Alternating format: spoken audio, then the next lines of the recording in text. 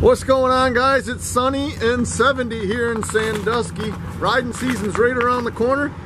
One we're doing a video on is a 2013 Harley Davidson Trike. It's got low miles, 1,998 miles.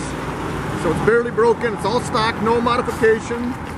You know, of course, it's got the uh, stereo, but this one includes the intercom system. So it's all set up for that. Got cruise control, comes in the Vivid High gloss, black paint, tons of chrome. So this is the one, guys. Low mileage, 2013 trike, runs strong, everything works, needs nothing. Just service at the dealership, inspected, all the fluids have been changed. And there's a warranty available so you guys can buy with confidence. Guys, visit our website, YouTube channel, and Facebook page. We got over 500 used bikes. We're getting these things loaded up as quick as we can. Call today and you can ride today. ApprovalPowersports.com.